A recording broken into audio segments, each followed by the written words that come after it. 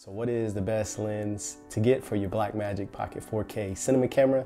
And specifically, what is the best affordable option that you can go with to use this little beast of a camera. So in this video, I'm gonna break down for you the lens that I chose to pick, but not only that, my process behind choosing it. And that's a big thing to talk to you how I went about choosing this lens to see if this is the best lens for you or if you should go another lens. And that's what I really wanted to make this video about. So of course, I'm gonna show you the lens that I chose. I'm not gonna waste your time. I went with the Sigma 17 to 50 f2.8 and I'll break down for you why I chose it. But that may not be the best lens for you, but if you use this process that I use and how I went about thinking about it, I think that you'll see if this is a lens for you or if you should choose another lens and where you should go from there.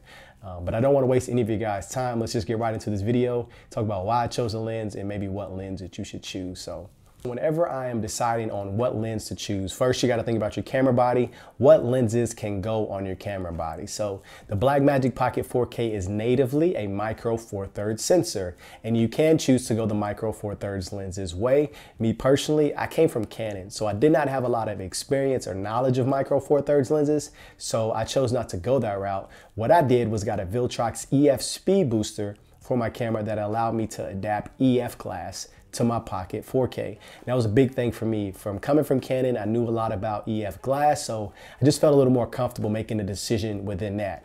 So first question I had to ask myself after what knowing what lens I could use was, which I think a lot of people need to think about is, what is your style? What is your style of filmmaking? A lot of times you'll see people saying you should get this lens for your camera or this lens for your camera. But if it doesn't work well with your style of filmmaking, you probably shouldn't choose that lens. What I mean by that, so my style is very reactive. I shoot weddings and documentaries and short films. So when I'm filming those, I film in a way that is very reactive and in the moment. I don't do a lot of posing and I'm trying to capture real and authentic moments. So I need something that's gonna allow me to to be a lot of places at once and get a lot of focal ranges at once. Because a lot of times I can't move. Let's say if someone's having an emotional moment where they're talking with their mother about something super, super close to their heart, whether that's a wedding or a documentary. If I move and they see me with the camera trying to get closer, it can make them uncomfortable or whatever. So I needed a lens that allowed me to zoom in and zoom out or and everything like that. So I chose to go the zoom lens range. Now you personally may not choose to go that way. Uh, if you shoot a lot of short films and stuff where you have a lot of control of moving around and things like that, you may can go with a really good prime lens and there are benefits to those. Um, but for me personally, I don't have as much control as times as uh, of the set and everything. So I needed something that's like, hey, you can move quick and do a lot at once and it's okay for that. So I chose to go to the zoom lens range. If you were like, hey, zoom lenses aren't for me, this isn't the lens for you, but I think it's a really good lens and it has some really cool characteristics. So a lot of times people talk about the characteristics and primes and how they look. This lens right here has a really cool way that it handles lens flares and stuff like that. And I like it. So not only is it a zoom lens, which accompanies my style, it's got some cool characteristics. So the next question you want to ask yourself is your budget. So you know your style, but you need to make sure you stick within your budget. I didn't have a ton of money to spend. So with, when I updated to my Pocket 4K, I knew I needed to get uh, a ND filter. I had a matte box I was putting on there, and I had some other IR cut filters. We're actually gonna talk about that as well for your 4K. And I knew I needed some things for it. So I had about five to 600 bucks to spend on my lens and lens accessories. So when you come to EF glass, there's really two good zoom lenses. There's actually a lot of good zoom lenses, but there's one that people mainly use, which is the Sigma 18 to 50 f1.8. Great, great lens. And I had to choose between the Sigma 17, ah, yeah, the Sigma 17 to 50 f2.8 and the Sigma 18 to 35 f1.8 and what are the main differences before those lenses. So this is how I chose the Sigma 17 to 50 over the Sigma 18 to 35. So of course, let's look at it. Let's start with price since we're going with budget. The Sigma 17 to 50 f2.8 you can find used on eBay from anywhere from 250 bucks and up from there. So I ended up spending around 269 bucks total. And what this allowed me to do was to get my accessories that I needed to accompany my lens and still be within my budget of five to 600 bucks.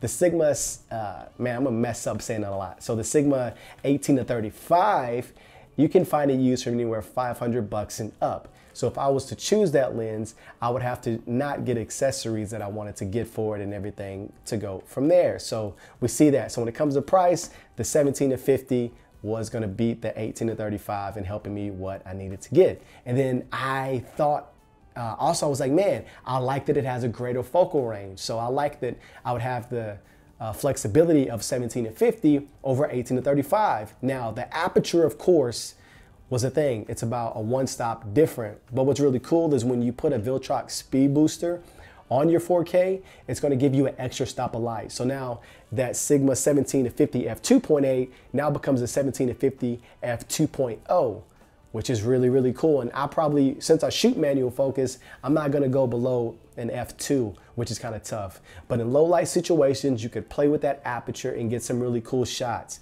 So that's why I chose a 17 to 50. It was better price, which allowed me to get some accessories, had a wider focal range, and because the adapter that I was using gave me enough light to use. So I couldn't rationalize spending more money for something I felt like was actually more limiting for my style. Now, if I would have went with the 18 to 35, it would not have been a bad option. And if you like that lens better, I would say it's a great budget lens.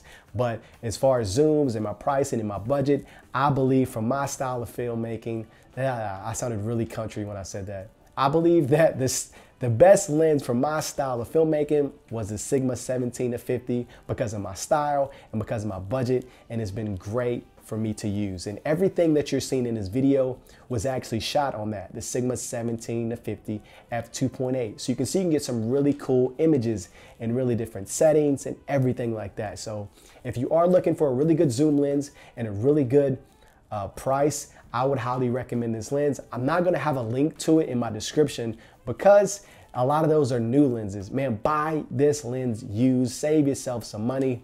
I don't buy anything brand new really. I buy used cars, everything because it's gonna, whatever. Lenses do hold their value, but you can get this lens used for about 200 something bucks off Amazon. And for what it provides, man, it's really great. Is it perfect? No, of course not but I like it and it's been a great lens for me. So if you're looking for a great zoom lens at a great price, I couldn't recommend the Sigma 17 to 50 f2.8 anymore. I hope you guys like this little random video. I just wanted to hop on here and believe that this was valuable information to somebody, not only the lens that I chose, but my thought process behind it. I hope you took something away from this that can maybe help you decide if this is the lens for you or if not. But I appreciate you guys watching this far. If you haven't already, subscribe to see more videos and hit that like button. Of course, it helps push it to more people who may have a 4K or who are making a decision on what lens to buy.